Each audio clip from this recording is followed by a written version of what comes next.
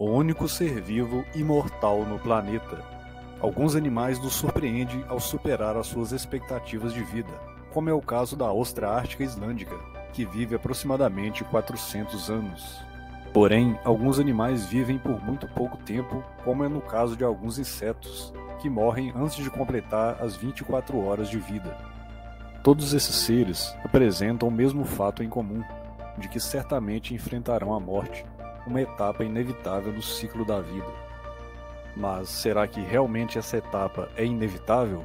O ciclo natural da vida é nascer, crescer, reproduzir e morrer. Porém, nem todos os organismos passam por essas etapas. Uma espécie de quinidário consegue enganar o ciclo mais difícil da vida, que é a morte, tornando então um ser imortal. A espécie conhecida como Turritopsis dorni passa por uma fase de pólipo e outra de medusa.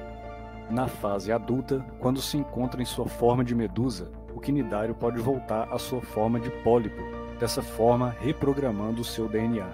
Dessa forma, o quinidário consegue enganar a morte, resetando a sua vida. Mas apesar de conseguir a voltar à sua fase jovem, isso não significa que essa espécie nunca morrerá.